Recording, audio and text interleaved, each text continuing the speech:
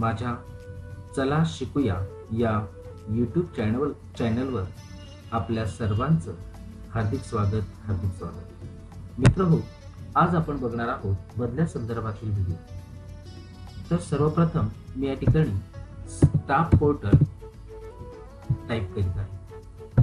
Type झाल्यानंतर आपल्याला staff portal संदर्भाची अशी प्रकारची विंडो या ठिकाणी मिळणार आहे. त्यानंतर स्टाफ पोर्टलला क्लिक केल्यानंतर आपल्याला या ठिकाणी अशा प्रकारचं आपलं जे school education and sports department government of महाराष्ट्राचं जे पेज आहे ते ओपन होईल. स्टाफ पोर्टल मित्र हो आता बंद झालेला आहे. त्यामुळे आता आपल्याला ट्रान्सफर पोर्टल या ठिकाणी सर्व माहिती अपडेट करायची आहे. मी ट्रान्सफर पोर्टल या ठिकाणी क्लिक करतो. ट्रान्सफर पोर्टलला क्लिक केल्यानंतर या ठिकाणी सूचना देण्यात आलेली बघा. ऑनलाईन शिक्षक बदली प्रणालीमध्ये आंतरजिल्हा बदली टप्पा क्रमांक चार अंतर्गत शिक्षकांना फॉर्म भरण्याची सुविधा दिनांक दहा दोन दोन हजार वीस पर्यंत उपलब्ध करून देण्यात आलेली आहे. त्या अनुषंगाने करावयाच्या कार्यवाहीबाबत आपल्याला पुढील सूचना देण्यात आलेल्या आहेत. त्या कोणत्या? त्यात आपण या ठिकाणी बघूया.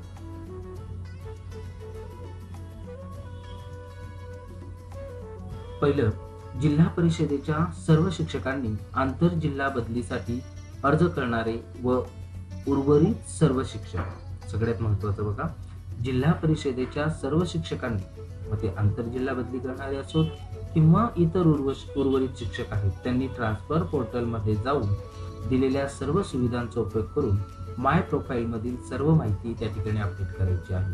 त्याची अंतिम मुदत आपल्याला दिलेली आहे. दहा दोन दोन हजार वीस म्हणजेच दहा फेब्रुवारी दोन हजार वीस. आता सर्वप्रथम मी या ठिकाणी सिलेक्ट रोल सिलेक्ट रोलमध्ये आपल्याला यावेळेस teacher school cluster head BEO EO आणि सीईओ या ठिकाणी टीचर ही एक नवीन सुविधा ती आपल्यासाठी निर्माण केलेली आहे. आणि खरोखर छान अशी सुविधा आहे की आपला आपला फॉर्म किंवा आपली जी माहिती आहे ती सिक्युअर म्हणून त्या ठिकाणी राहणार आहे. या ठिकाणी मी टीचर रोल सिलेक्ट करतोय. टीचर रोल सिलेक्ट केल्यानंतर या ठिकाणी युजर आय डी आपला जो फॉर्मवर आहे किंवा आपण मागच्या वेळी बदली भरता बदली फॉर्म भरताना जो वापरलेला होता तो त्या ठिकाणी स्टाफ आय डी आहे सरळवरचा तो या ठिकाणी टाकत आहे.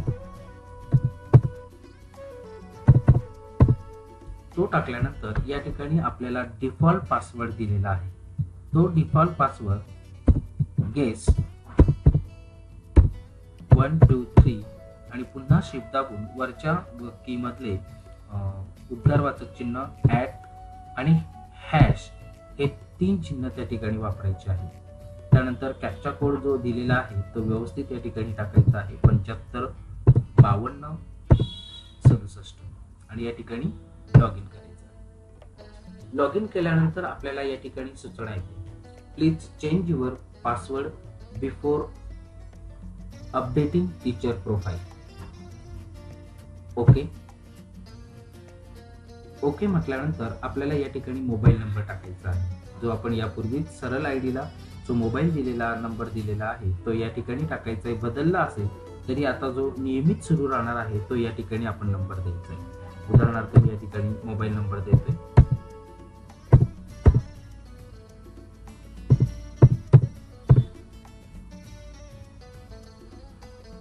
मोबाईल नंबर पूर्ण झाल्यानंतर लागलीच या ठिकाणी जनरेट ओटीपी हे ऑप्शन या ठिकाणी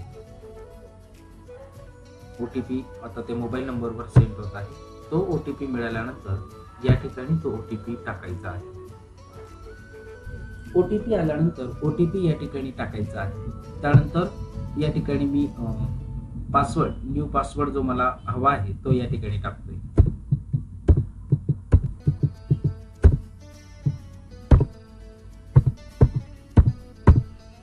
जास्त आठ या ठिकाणी नंबर्स म्हणजेच आठ न्यू पासवर्ड मी या ठिकाणी टाकत आहे. आणि तोच कन्फर्म म्हणून खाली पण टाकावा लागणार आहे. तो मी या ठिकाणी टाकतो.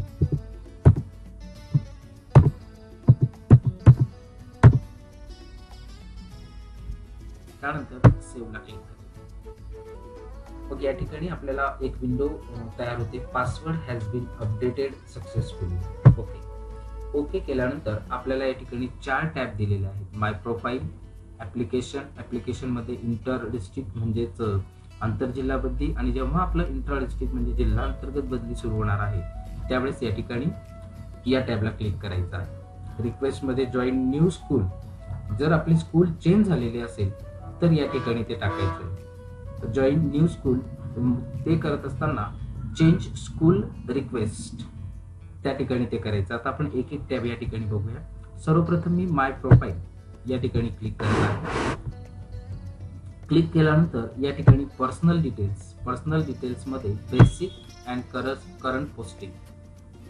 या टॅबला क्लिक करायचं आहे ही tab already teachers personal information verify cluster हे ऑलरेडी ती व्हेरीफाय झालेली आहे तीच या ठिकाणी येत असते. या ठिकाणी ही पूर्ण माहिती आहे ती पूर्ण या ठिकाणी आलेली आहे. त्याच्यानंतर दुसरी टॅब जनरल डिटेल्स. जनरल डिटेल्समध्ये आल्यानंतर या ठिकाणी आपण आपली माहिती भरायची आहे. उदाहरणार्थ फोन नंबर तो आपला अपडेट झालेलाच आहे. त्यानंतर आपला email I D Aadhaar number त्यानंतर या ठिकाणी पॅन कार्ड नंबर काहींचा आधीच टाकलेला असेल तर तो टाकायचा आहे. त्यानंतर शालार्थ आय डी नंतर परमनंट ॲड्रेस जो आपला आहे तो या ठिकाणी टाकायचा आहे. त्याच्यानंतर सिलेक्ट स्टेट स्टेट निवडायचा आहे नंतर डिस्ट्रिक्ट आणि नंतर आपला जो पिनकोड आहे तो या ठिकाणी टाकायचा आहे. सगळ्यात महत्त्वाचं म्हणजे ever work in school of difficult area. जर तुम्ही डिफिकल्ट एरियामध्ये कार्यरत असाल तर या ठिकाणी येस आहे अगर नसाल तर या ठिकाणी नो म्हणजेच अवघड क्षेत्रामध्ये त्यानंतर ही माहिती या ठिकाणी सेव्ह करायची पूर्ण माहिती भरल्यानंतरच ती त्या ठिकाणी सेव्ह होणार आहे. सेव्ह झाल्यानंतर ती क्लस्टर लेवलला या ठिकाणी फॉरवर्ड करायची आहे. त्यानंतर दुसरी टॅब आहे या ठिकाणी कास्ट अँड सर्टिफिकेशन या ठिकाणी आपलं रिलिजन जे आहे ते या ठिकाणी टाकायचं आहे. या ठिकाणी हिंदू मुस्लिम पारसी जैन बुद्ध ज्वीज जे आहे ते आपलं या ठिकाणचं रिलिजन सिलेक्ट करून ते टाकायचं आहे. नंतर कॅटेगरी टाकायची आहे. नंतर सिलेक्ट कास्ट जर कास्टमध्ये असाल तर सर्टिफ कास्ट सर्टिफिकेटच्या डिटेल्स या ठिकाणी सगळ्या भरायच्या आहेत. नंतर सर्टिफिकेट व्हॅलिडेशन म्हणजे जात वैधता प्रमाणपत्राबाबतची सर्व माहिती या ठिकाणी भरायची आहे. आणि हे सुद्धा या ठिकाणी सेव्ह करायची आहे. सेव्ह झाल्यानंतर ती पुढे फॉरवर्ड करायची आहे. त्याच्यानंतर चौथी या ठिकाणी सब टॅब आहे. इनिशियल अपॉइंटमेंट डिटेल्स या ठिकाणी सुद्धा आपली जी माहिती आहे ती या ठिकाणी भरायची आहे. उदाहरणार्थ post initial appointment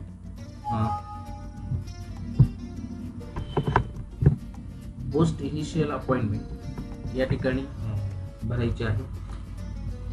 select appointment post या ठिकाणी दिलेले आपण हेडमास्टर असाल ग्रॅज्युएट टीचर असाल ते भरायचं आहे. त्यानंतर या ठिकाणी हे जर तुम्ही अंडर ग्रॅज्युएट टीचर असाल वन टू फोरला शिकवत असाल आणि अंडर ग्रॅज्युएट टीचरही असाल ते फाईव्ह टू सेवनला या ठिकाणी शिकवत असाल तर ती टॅब या ठिकाणी निवडायची आहे.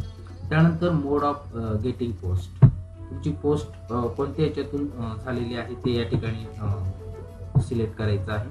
त्यानंतर रिक्रुटमेंट कॅटेगरी तुमची भरती कोणत्या कॅटेगरीमधून झालेली आहे ती या ठिकाणी सिलेक्ट करायची आहे.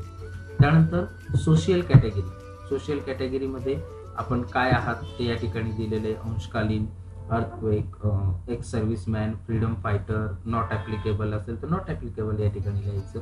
महिला असतील तर मात्र त्यांनी वुमन या ठिकाणी सिलेक्ट करायचे आहे. त्यानंतर जर आपण या ठिकाणी recruitment category sorry post initial अपॉइंटमेंटमध्ये जर आपण या ठिकाणी अंडर ग्रॅज्युएट टीचर हे निवडलं. तर या ठिकाणी appointment for subject all subject म्हणून म्हणायचं. आणि समजा जर मी या ठिकाणी ग्रॅज्युएट टीचर असेल सिक्स टू एट असेल किंवा नाईन टू टेन असेल सिक्स टू एट क्लिक केल्यानंतर आपल्या आपण कोणत्या सब्जेक्टमधून त्या ठिकाणी शिकवत आहोत? उदाहरणार्थ समाजशास्त्राचे इतिहास भूगोल असतील किंवा लँग्वेज मधले इंग्लिश आणि मराठी असतील तर त्या ठिकाणी इंग्लिश मराठी हिंदी ते या ठिकाणी निवडायचे आहे. आणि ही माहिती सुद्धा या ठिकाणी सेव्ह करून पुन्हा फॉरवर्ड त्या ठिकाणी करायची आहे. यानंतर सगळ्यात महत्वाचं ऍप्लिकेशनमध्ये आंतरजिल्हा बदली बांधवांसाठी या ठिकाणी ट्रान्सफर ऍप्लिकेशन ही टॅब दिलेली ट्रान्सफर ॲप्लिकेशनला जाऊन या ठिकाणी आपण cannot enter the application details caste and certificate ते पूर्ण भरलेलं नाहीये. त्यामुळे क्लस्टर लेवलवरून ते व्हेरीफाय झालेलं नाहीये. त्यामुळे मला तो फॉर्म भरता येणार नाही. म्हणून क्लस्टर लेवलवरून कास्ट अँड सर्टिफिकेशन डिटेल जे काय आहे ते सगळे या ठिकाणी आपण पूर्णत पूर्णतः भरून फॉरवर्ड करून क्लस्टर लेवलवरून ते व्हेरीफाय करून घ्यायचं आहे. त्यानंतर सगळ्यात महत्त्वाचं म्हणजे रिक्वेस्ट रिक्वेस्टमध्ये जॉईन न्यू स्कूल जर तुमची प्रमोशनने कुठली बदली झाली असेल किंवा कुठल्या शाळेमध्ये बदल झालेला असेल तर या ठिकाणी जाऊन चेंज स्कूल रिक्वेस्ट म्हणजेच हे अटॅच डिटॅच आहे. चेंज स्कूल रिक्वेस्ट या ठिकाणी भरून क्लिक करून या ठिकाणी म्हणायचे ट्रान्सफर टाईप तुमची ट्रान्सफर कोणत्या प्रकारची झाली? इंटर डिस्ट्रिक्ट झाली इंटर डिस्ट्रिक्ट झाली प्रमोशन झाले डिमोशन झाले अथवा समायोजन झाले ते या ठिकाणी भरून उदाहरणार्थ आता या ठिकाणी माझी inter district intra district transfer झालेली आहे. मी त्या ठिकाणी नमूद केलं मग आधीचा माझा डिस्ट्रिक्ट येतं त्यानंतर तालुका केंद्र येतं आणि स्कूल येतं. नंतर तुमची जी बदली झाली असेल त्यानंतर तुम्ही या ठिकाणी कोणत्या जिल्ह्यात झालेली त्याच जिल्ह्यात झाली असेल त्याच जिल्ह्यात अं, त्यानंतर ब्लॉक कोणता आहे तो ब्लॉक निवडायचा आहे जो असेल तो त्यानंतर क्लस्टर आणि स्कूल आणि या ठिकाणी ती माहिती सबमिट करायची आहे. सबमिट केल्यानंतर ती पुन्हा तिकडे फॉरवर्ड करायची आहे. अशा प्रकारे या ठिकाणी तुमचं जर चेंज डिझायनेशन झालेलं असेल तर ते सुद्धा या ठिकाणी तुम्ही भरायचे आहे किंवा फॉरवर्ड या ठिकाणी ते आलेलं आहे. ते फॉरवर्ड तुम्ही या ठिकाणी करू शकता. त्यानंतर correction of dates in current posting details या या टॅबमध्ये सुद्धा दिलेलं आहे. जर या ठिकाणी काही चेंजेस असतील तर हे ऑलरेडी या ठिकाणी दिलेले आहेत आणि ते फॉरवर्ड करायचे काही बदल असेल तर फॉरवर्ड न करता आधी एक पत्र युओ लेवलला किंवा बीओ लेवलला देऊन ऑफिस थ्रू त्या ठिकाणी पत्रव्यवहार करायचा आहे. त्यानंतर या रिक्वेस्टमध्येच आहे change in gender change in gender जर आपला झालेला असेल तर तो या ठिकाणी चेक करून तो पुन्हा क्लस्टर लेवलला फॉरवर्ड करायचा आहे.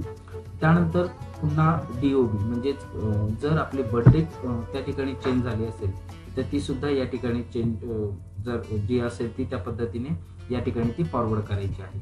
या सगळ्या टॅबमध्ये जाऊन जर आपल्या बरोबर असतील तर ते या ठिकाणी फॉरवर्ड करायचे आहेत. त्यानंतर आहे request to change mobile email Aadhaar or PAN details आता या ठिकाणी म्हटलेले alert please enter your general details forward to cluster head for verification before sending request to change म्हणजे सगळ्यात महत्वाचं तुम्ही जनरल डिटेल्समध्ये ते सगळं भरून आणि ते क्लस्टर लेवलला फॉरवर्ड करायचं आहे आणि ते for verification before sending request त्यानंतर तुम्ही त्या ठिकाणी ते सेंड करू शकतात आणि त्या ठिकाणी चेंज करू शकतात.